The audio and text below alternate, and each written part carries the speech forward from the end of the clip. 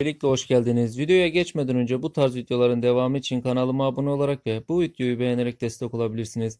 Yasak Elma dizisine Ece Dizdar dahil oldu. Siz bu gelişmeyi nasıl yorumluyorsunuz? Yorumlara yazabilirsiniz. Şöyle dördüncü sezon afişine bakacak olursak afişte yer alan oyunculardan dördünün diziden ayrıldığını ardından Kaya'nın geri döndüğünü görüyoruz. Gerçekten Yasak Elma için final söylentilerini de hesaba katarsak çok inişli çıkışlı bir sezon oldu. Dizi son olarak 110. bölümde sezon finali yaparak ekranlara veda edecek haberi var.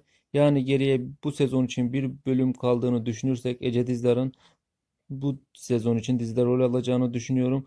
Oyuncu son olarak televizyonda Menajeri Mağara dizisinde karşımıza çıktı konuk oyuncu olarak. Menajerinin iyi iş çıkardığını söyleyebiliriz.